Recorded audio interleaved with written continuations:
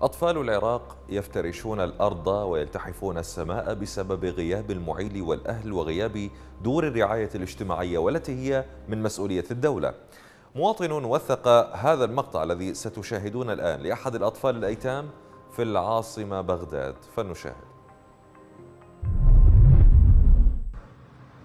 شوفوا هاي الطفولة هاي البراءة حبيبي وين أبوك؟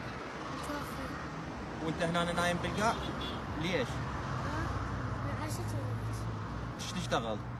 أطلب مساعدة. تطلب مساعدة؟ يطلب مساعدة من بلد كله نفط وخير وبركة. مع الأسف والله. مع الأسف طفل ينام بالشارع. حالة حال نفايات هنا. مع الأسف والله. مع الأسف.